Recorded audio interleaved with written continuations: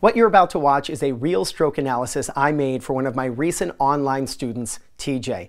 He's a high level player who was looking to improve his two handed backhand. So he went onto my website, 2minutetennis.net, and he signed up for a video stroke analysis lesson.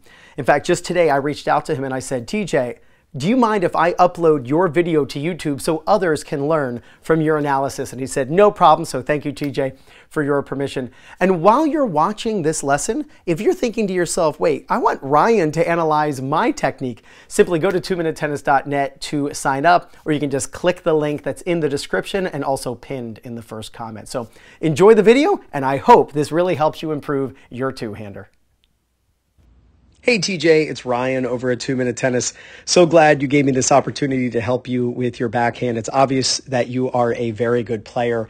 So I want to give you some really simple things because at your level, uh, it, it's not super complicated, you know, earth shattering things.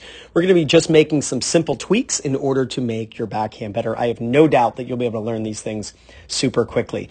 Uh, we're going to talk about the way you take your racket back. We're going to talk about the position of your racket once it's in the back. We're going to talk about your the use of your legs. Uh, you know what your legs should be doing. We're going to talk about the racket at the bottom of the swing, uh, and I actually want to talk to you about your finish because uh, really everything then culminates that you do prior to contact and during contact. It's going to culminate into the, the finish that you have. Um, so the first thing, let's get right to it. When you take your racket back, you have a reset of the racket. Let me actually go to this first one here. It's a perfect example of it. So I'm going to draw a circle where your racket is. And I want you to notice how you take your racket back. So right there is the height of your backswing. So you're taking your racket back like, uh, give me a second here. Let me get the right tool. Here we go. You're taking your racket back like this. Watch your racket follow that red arrow. Now, obviously, if you want to go from point A to point B, it is going to be a straight line that is going to be in your best interest, especially at your level with the speed the ball can come in. Whenever someone is going down and then back up again, there's a clear opportunity to make their backswing more efficient so it takes less time. Plus, when you take your racket back by going up, it has to stop to change direction. So not only does going down and then up take longer than going straight back, but when your racket is going up, it must come to a complete stop. The racket has to stop in order for it to go back down to then hit the ball. If you keep your racket up, then it just turns the corner. And so you can actually handle fast shots more easily for those two reasons. The, it takes less time to take the racket back if you just keep the tip of the racket pointing up the whole time, and then you can just turn the corner and go. You'll see that when you take it back, like right here, the tip of the racket is basically pointing at the camera. Here, the tip of the racket is pointing up, tip of the racket's facing the camera, and then the tip of your racket is pointing up again. So it should be pointing up the whole time you take the racket back. So a simple way of thinking of this is place a coin on the edge of the racket. And when you take the racket back, you just keep the coin on the racket. Here I am in my driveway um, demonstrating this exact idea. So you can see where the tip of my racket is pointing and watch how I take the racket back and the tip of the racket stays up the whole time if I put a yellow line, I'll make it a straight line. Watch my racket go along that yellow line. So this is going from point A to point B. You're going like this. So if I see someone making this move and I see someone making this move, I know the person going along the green will be able to get their racket back sooner. It will take less time for them to take the racket back.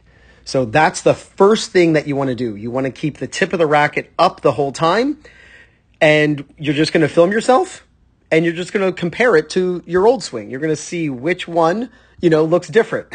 and the tip of the racket staying up the whole time is going to make it more efficient in the way you take the racket back. Then when you take your racket back, you can just drop that t- that way and you can just turn and go And so that way you can handle faster shots even more easily. Now, if you're looking for people in your local area to play against, practice with, or if you want to find a coach who's close to you who's going to be able to help you with your game, then use my link in the description, playyourcourt.com slash two minute tennis. And when you use my link to sign up, you get 50% off. Now, TJ, the second thing I want to show you is the position of your racket once you take it back. And the racket should be going back 180 degrees behind you. And so, like opposite your ready position, right? So when you take your racket back, you really have two backswings when it comes to the position of your racket, and it has to do with the height of contact. Here on the left, you're hitting a low ball. Here on the right, you're hitting a higher ball. You can see the difference.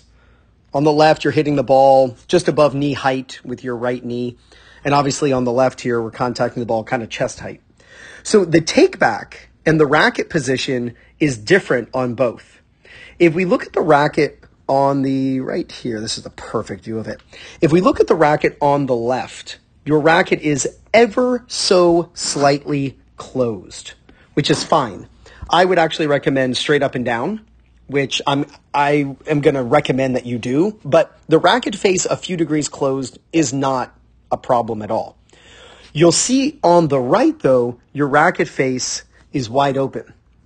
So the racket you want to be straight up and down, whether it's a high ball or a low ball. You want to be able to basically balance a coin on the edge of your racket. And the reason is because it's going to help you to close the racket face. When you drop your racket, I'm sorry, let me say it this way. When you have a low ball and you drop your racket, your racket face closes now you can't really see it, but like right here we can see it sort of. But your racket face is like this, and that means your racket face is closed. When you have a higher ball, your racket face is open. And that means you have to roll over the ball, and you can see that.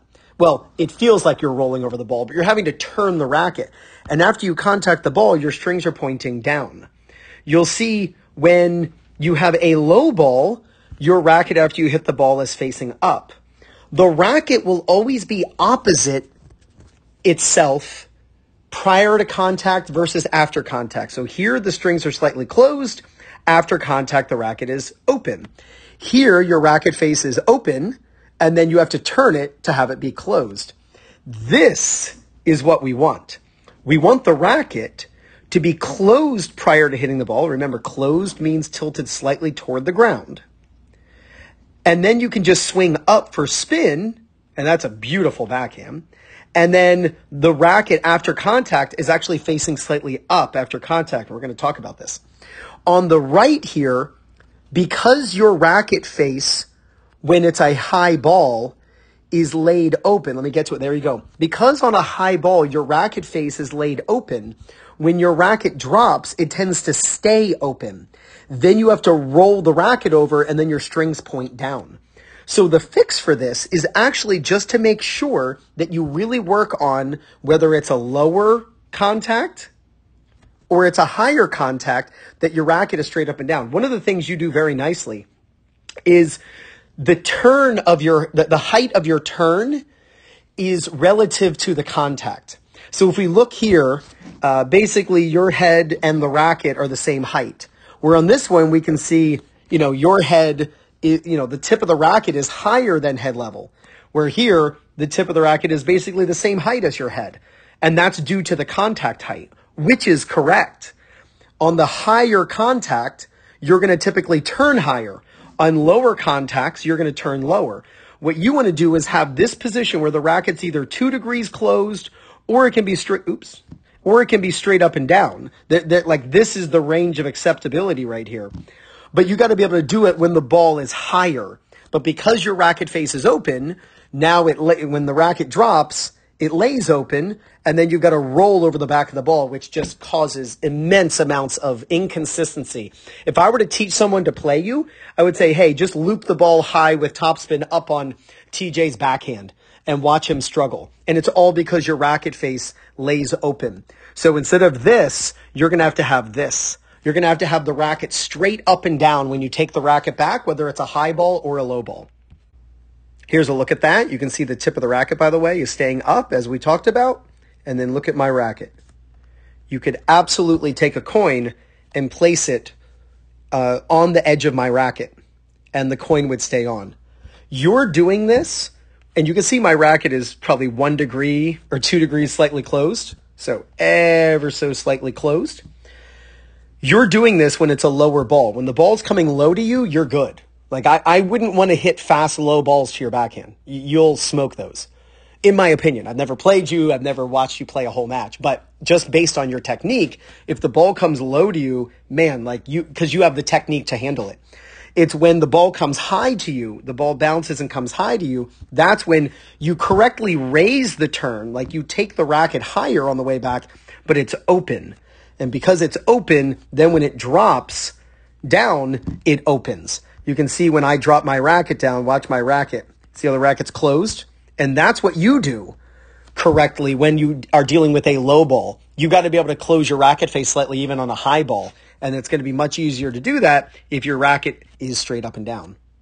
Now, the best way to practice these techniques is at home with a Topspin Pro. You can get a Topspin Pro using my link in the description. I'm also going to pin it in the first comment. I absolutely love the Topspin Pro, and I know you will too. Now, TJ, the next idea is when you drop your racket, we want to also drop the body. So you're tall, right? I'm 5'8. you're 6'5. You were probably 6'5 when, or you were probably 5'8 uh, in like sixth grade. um, so, so even more so, you have to get used to bending your knees. And it's something called sit and lift when the racket goes down, you want to feel like your body is going down too. Now, in what I'm doing here is a bit of an exaggeration, but the reason I like to show exaggerations is people typically fall short of what you teach them. So if you teach them an exaggeration, they fall short of an exaggeration, they end up doing the right thing. So exaggerations are very uh, beneficial, or teaching an exaggeration is very beneficial uh, in learning a sport or dancing or whatever, right? So watch how my racket and my body go down. So if I draw a line at the top of my head, as my racket goes down, you can see yellow to yellow. Watch this. Yellow to yellow. And then as my body goes down, we'll make this green. So does my racket. So my body is going down, obviously not as much as my racket, but my body is going down. And then my body comes down and then watch, it comes back up again. So it's down and then up. And so when I'm contacting the ball right there, I'm back up to the height I had for the take back. So my head is going like this. Watch my head go down and then back up again. You'll watch your drop, and we do the same thing yellow line, and there's the top of your racket. Watch your racket go down. Your racket goes down with no legs. So one of the thing that's gonna one thing that's gonna help you to get lower below the ball for better topspin, so you can swing up um, a little more steeply, is to sit. Now you don't want to sit down as you're taking the racket back. You'll notice when I'm taking the racket back, I'm not getting shorter as I take my racket back. I'm still at the same height. I'm still at this height as I take my racket back. Then as the racket goes down, that's when I sink down and then come back up again. So as you're taking the racket back, stay six five as you take it back. But as the racket goes down, you should get to six feet tall. You should, dr- you should lose five inches as your body is dropping. And you can see I'm doing that too. I'm going down. I'm probably getting down to shorter than five feet, actually. You might be, you know, think of it even more. But you've got to drop your body down to help you get lower below the ball. Then be able to turn and kind of corkscrew up. You can see my body rotating and I'm coming up as I'm rotating. So it's like a corkscrew, like that. So you're rotating correctly. You can see your back foot turns up on the toe but you're not using your legs. So you're losing the ability to get lower below the ball and to use the legs as a power source and to be able to use the energy from your legs through a kinetic chain all the way through the ball. So as your racket is going down, your body should be going down. And you can see I'm lifting back up again. As my racket goes up, so does my body. So my body and racket go down, and then they come up. Now, the last thing I want to talk to you about, TJ, and then I'm going to show you some pros doing these things, is the extension and the finish. So you are very kind of pretzeled up and, and kind of all shriveled up on your follow through. And you can see you have a really low right elbow, uh, and, and you, you tend to do that. Let me go to the, yeah. Like when you hit the ball, you basically bend your right elbow to hit the ball. It's almost like you're doing a bicep curl with your right elbow. And we can see you have a low elbow here and your arm is extremely bent at this point. I want you to look, and this is a bit of an exaggeration again, as I explained before. Exaggerations are something I really love to do, but I want you to notice this finish.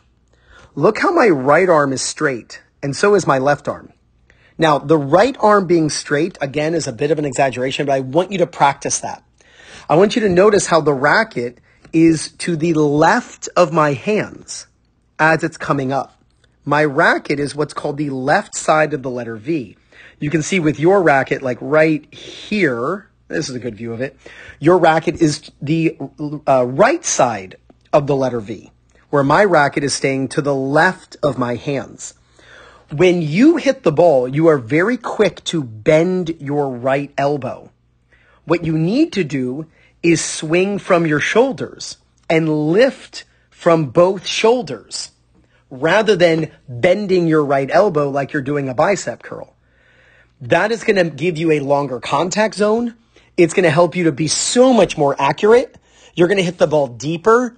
Tons of benefits come from this extension out and up without bending your elbow, but actually lifting from the shoulders. Here are two great examples of this extension out where the rack is to the left of your hand. Here we can see Taylor Fritz and look at the angle of his racket. His racket is to the left of his hands prior to contact, watch his racket, see what's closed. His strings are facing toward the ground slightly, not a lot, but slightly toward the ground, which is what you need in order to get your strings to face forward when you hit the ball. When you hit the ball, you want your strings to face forward. Well, they have to face down in order to make that happen. And then you just swing up and look how his racket doesn't even go over his shoulder. He stops right there. He's out in front and he's got the left side of the letter V. Strings are facing slightly open. Now, I mentioned how I want you to actually have your arms straight. He has his right elbow slightly bent. I want you to feel like both arms are straight, and I mean locked, as a mechanism of doing this. If you try to have your right elbow slightly bent, it's going to be a license for your elbow to bend way too much. So I want you to feel like it's straight the whole time. Here's Joker. You can see the racket face uh, well, here's the racket straight up and down. You can see he's not opening the racket at all. You can put a coin on the edge of the racket. Strings are facing directly off to the side. Then he drops the racket super closed. Strings are pointing down. And then look at this extension. Look at this. Racket staying to the left of his hands. He's lifting from the shoulders. He is not bending his right elbow. The angle of his right elbow is staying intact.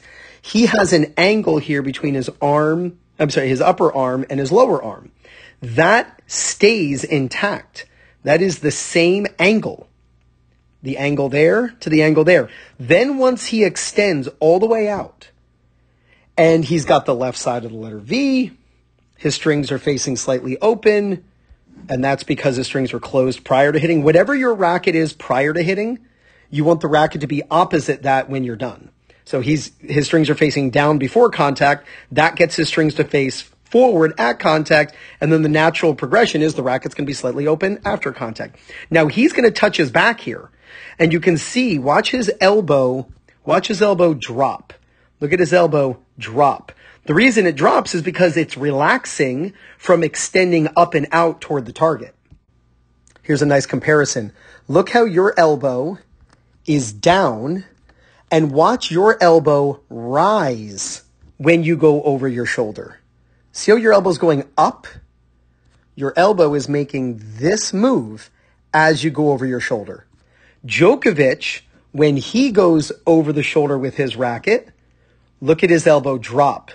Now, the dropping of the elbow is not important. like the fact that his elbow is dropping, it's not like, oh, I need to drop my elbow when I'm done. No, you don't have to. You can just keep your elbows up if you'd like, or just extend out, which is actually what I want you to do. I want you to have this high elbow when you're done. And it's because you're not going to be bending. Your elbow is so jammed into your side right here. Your elbow is jammed into your side when you're hitting that in order to touch your back, you have to lift your elbow. Your elbow goes this way. When he touches his back, his elbow actually drops. That's how much up his arms went because he's lifting from his shoulders. His shoulders are what are lifting this racket. He's lifting up from the shoulders. You're lifting up by bending your right elbow, shortens up the contact point. You'll frame the ball more. You'll be super inconsistent and it makes you need to take a video stroke analysis lesson with me. Here's a great view of Serena. By the way, look at her racket right here.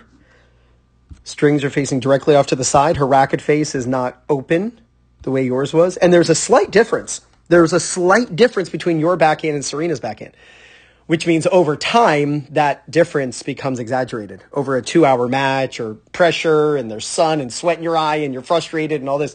Like any small difference, you can see her racket face closes. Any little differences between us and the pros are magnified in the heat of the moment. But look at her lift from her shoulders.